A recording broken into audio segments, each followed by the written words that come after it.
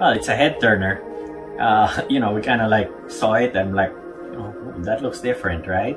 It's got that uh, impressive grill in front, which you know I've always liked the big grill in the front. The lights are look very up to date and modern, and uh, the stance of the pickup was very nice. I always look at the stance of a pickup; it's important to me. I actually thought it was a four-wheel drive, and then I found out it was a, only a two-wheel drive. But you know, it stands like a four-wheel drive.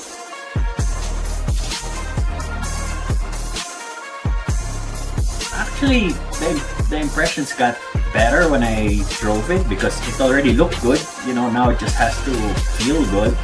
And that's the first feeling it gave me when I drove it. It felt pretty solid. Felt like it had a lot of power. And uh, it, it was doing great. And now all it had to do was make it through the day. And believe me, we push cars to the extreme limit. That's what race car drivers do. And I actually told my son, don't hold back. Push it. You know, we're always try to take care of the car as much as we can, but when we're trying to catch a certain time, you're gonna have to let the, the pickup do its work. And if it's gotta go through the ruts, it's gotta go through the jumps and the bumps, I mean, we're just gonna go flat out through all of that. And after all the runs, the more the impression got better of the thing because it just kept going and going. And it had a lot of power to do, to do it.